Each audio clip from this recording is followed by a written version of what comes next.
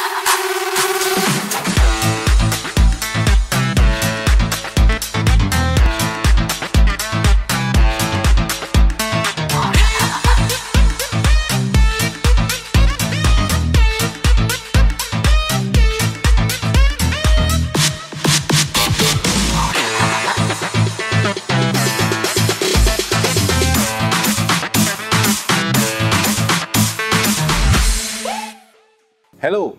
I'm Atubo George, and I bless God for this opportunity to bring His truth to you.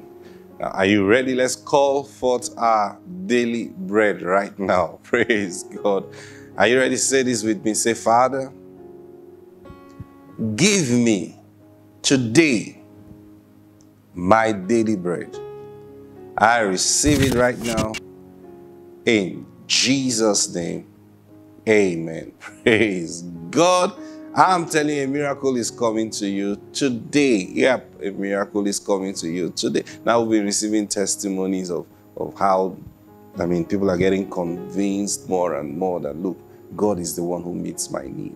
And coupled with the lunch hour prayer meeting we've been having, lots of testimonies. Praise God. And if you've not joined the lunch hour prayer meeting, come on now.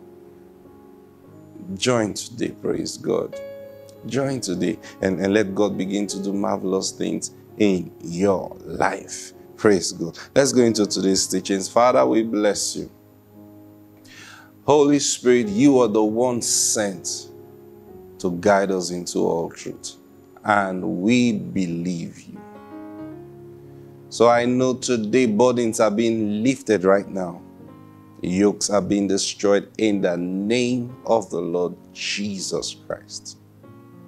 Amen. Praise God. Now, I began to share with you yesterday about things concerning our salvation.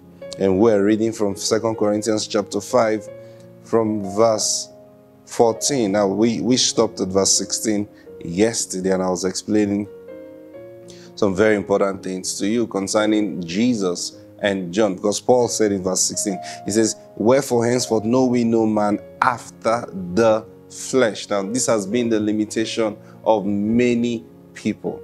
You know, sometimes say, ah, I know that pastor now. Ah, he grew up on in our street. Ah, very well. Ah, I know him. I used to go to his house. And then you still use that eye to relate, even though you are born again today, but you still use that eye to relate with the person. Now, I was explaining something to you yesterday. I said John the Baptist was anointed from the womb. He was filled with the Holy Ghost from the mother's womb. So imagine how he grew up. Just, just try to imagine that. Praise God. And then, but he didn't know. The Holy Spirit didn't tell him. What does that mean? The Holy Spirit will not tell you everything. Now, you can probe, see, you can probe, and then depends on how you approach him. He can tell you a lot of things, but still, he won't tell you everything. Now, if you if you're used to working with the Holy Spirit, you always you know get this thing about ah, Lord, why did you tell me about this? And I know even the answer he will give you, make it like, well, okay, no problem, praise. Yeah, I'm telling you the truth. Because he can't tell you everything. Sometimes people go and fast and pray, oh Lord, reveal everything about my life. Oh! How? In one day fasting and prayer. Even 21 days fasting and prayer. How? He will show you some things. He will show you where you're going. He'll show you where you're headed for. But you see, because it is by faith that you're going to walk in all those things, then he will tell you everything.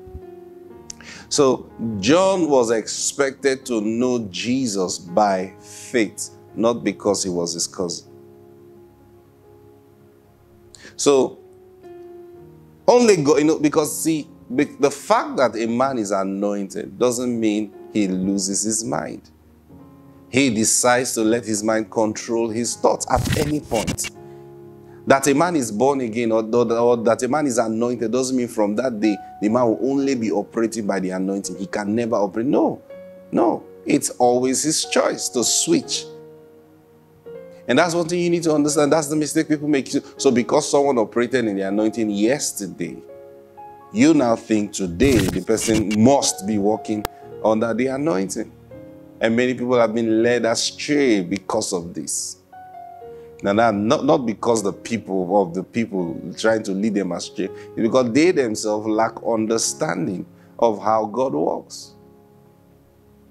So the fact that John was filled with the Holy Ghost from the womb they didn't mean he didn't make mistakes. Number one, he didn't know Jesus until Jesus came to his baptism. Then, because God had given him a sign. And when he saw that sign, and you know how you see that sign, and then you look at the fellow standing before you, ah, you? You are the one? All this while? I mean, even if I'm the one, it, it will send me into a time of deep reflection and thought. I mean, my cousin was the Christ. All this while, how come I didn't know? I will question a lot of things about myself. I'm telling you the truth. Not that I'll condemn myself, but it will, it will get me to, first of all, ask myself a lot of questions. Have I truly been fellowshipping right? How come he never told me? But in this case, it is supposed to be until the time of his revelation. So there are certain things that are kept secret until the time. No matter how you pray about it, it will not be revealed to you. And that's, for example, the coming, uh, the, the, the coming of the Lord Jesus Christ. And then, you know, they, they asked Jesus, the disciples asked Jesus. they said, Would you at this time restore the kingdom because they, they, they knew Jesus was coming back. They knew. So they felt he was going to do something when he rose from there. He didn't. And then he starts talking about, I'm going, I'm going. He said, okay, but I'll come back. So wait, when you come back now, would you? He said, it is not for you to know the seasons that God has put in his own power. So sometimes, you know, no matter how anointed you are, you may not even know the next person yet that God is going to anoint, you, can, you may not know. You may try to guess, but you cannot really tell because God can hide those things.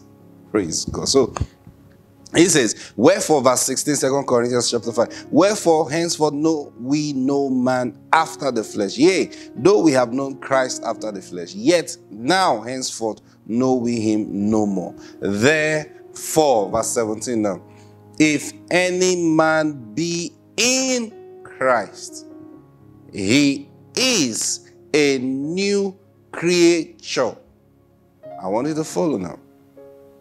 All things are passed away.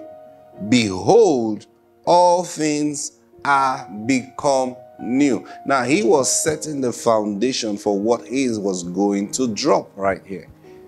He says, Listen, we don't know any man after the flesh. Why? Because if any man be in Christ, he is a new creature. So if you think you know that man after the flesh, then you are going to be making a big mistake for your life. If you are going to judge him by what you have known him to be after the flesh, whether good or bad, you are going to be making a big mistake for your life. So when we got saved, when we got born again, hear me, we became new creatures. Now I want you to get something here. When he meant new creature. Now, you know, many times we use what he said next to qualify the new creation. So he says, All things are passed away, and behold, all things are become new. Notice he didn't say, if any man be in Christ, he is a new person.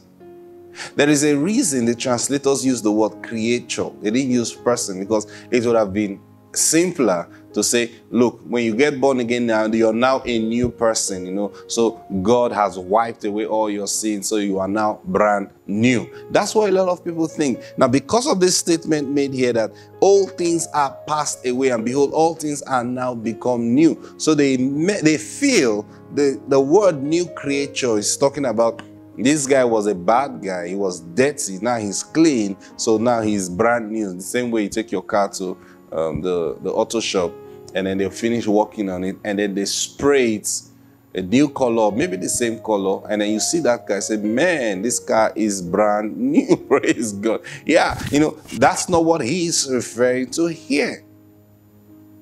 When he said, if any man be in Christ, he is a new creature, he actually means a new creature. I'm going to be explaining these things to you so you'll understand.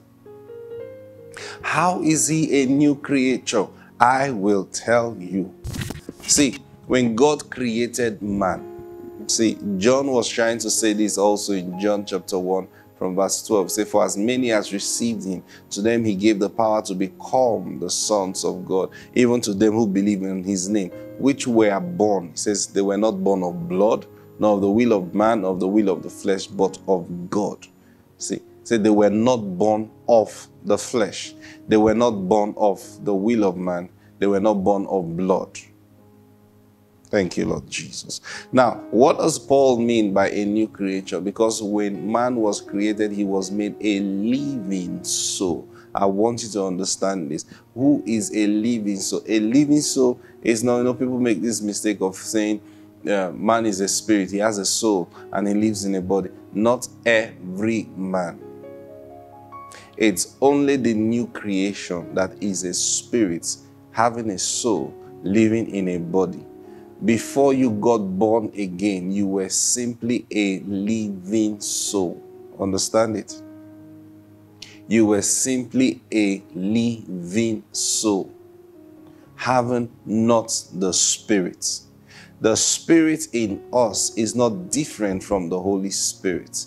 Now, this might be too high for you know someone. What are you trying to say? No, think about it. You know, people just have this mentality that we have a spirit in us, and then we have our soul and then we live in a body. So when you get born again, what, had, what happened? Your spirit was what? Recreated. Can a spirit be recreated? Think about it. Sometimes we listen without thinking. And that's why people deceive us. Or sometimes people lead us into error by their own error. So can a spirit be recreated? Now that's why you get to that point and say, look, nothing is impossible with God. So no, no, no, no. Can a spirit be recreated. Ah, praise God. So, what's he saying? When you got born again, the Spirit of God came into you. Now, why did the Spirit of God come into you? Because this was God's plan from the foundation of the world. I want you to understand something. This is the reason that this had to wait until Jesus came. Why? Because from the foundation of the world, even before Adam was formed, God had planned that it is Jesus that will bring man into life. So Jesus had a ministry before Adam was formed or created. Now, these, these things are simple when you study and understand even the scriptures. But of course, you cannot even understand the scriptures without the Holy Spirit.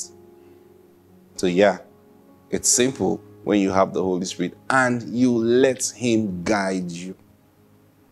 So, people just think that Jesus came because of the account of man's sin.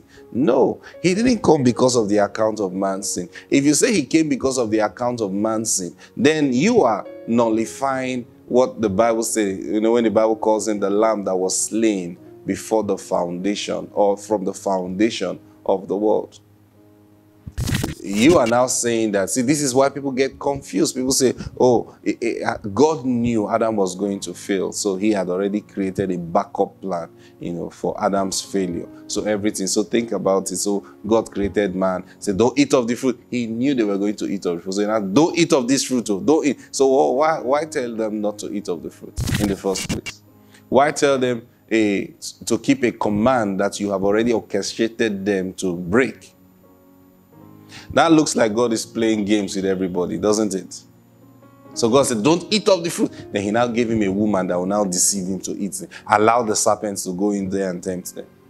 Nah, praise God. So, so then, why did the Bible say the Lamb of God that was slain from the foundation of the earth? Yes, because it was ordained in the scheme of things that man was going to be in the image and likeness of God. That is what God said in Genesis chapter 1. But in Genesis chapter 2, when they were created, they were not in the image and likeness of God.